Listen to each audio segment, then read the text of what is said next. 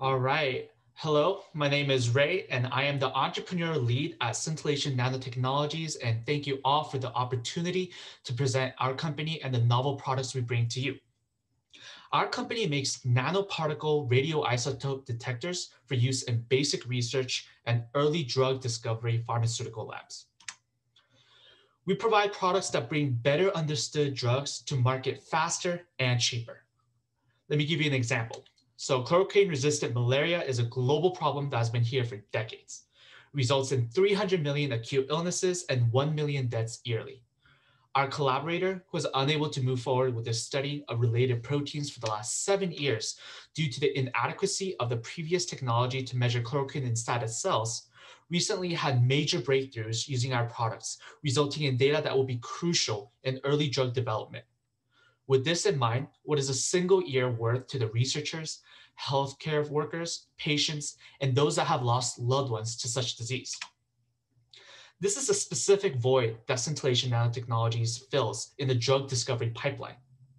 The technology that allows for such breakthroughs are Aquasit and NanoSpa. In research, nothing comes close to the sensitivity of detection that radio labels and radioassays could provide to better understand human biochemistry and biological functions. These products are nanoparticles that emit a visible light when they get close to radioactive labels, whether they are inside of cells, membranes, or even aqueous media.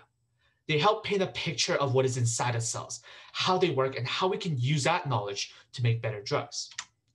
So how do we improve drug discovery? We are better. We provide more consistent data. We have no organic solvent. We are an easy substitution for current products, and we fit right into existing instrumentation that researchers have been using for decades. We lower costs. By switching to our products, researchers can produce up to 1,000 times less hazardous waste and they can make fewer sample preps, which ultimately save time.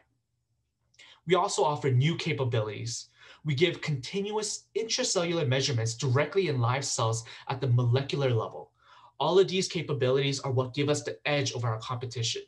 In summary, our technologies allow researchers to answer questions they couldn't even ask before. The market that our products fall into are the global radiation detection market at $9 billion. More specifically, we want to target the US discovery research labs valued at 500 million to $1 billion. We plan on going into the market by building brand awareness through collaborations, conferences, publications, and social media. Then we want to identify the leads using targeted marketing and sales tactics.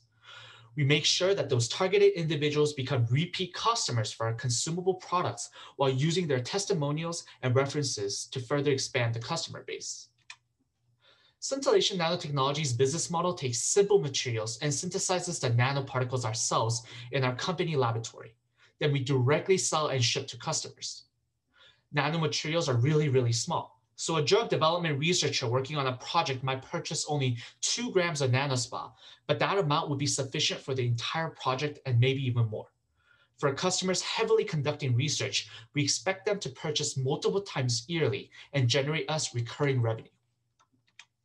In addition to the funds already raised, the $25,000 total prize money will be distributed on an e-commerce website, brand image campaigns, and marketing materials.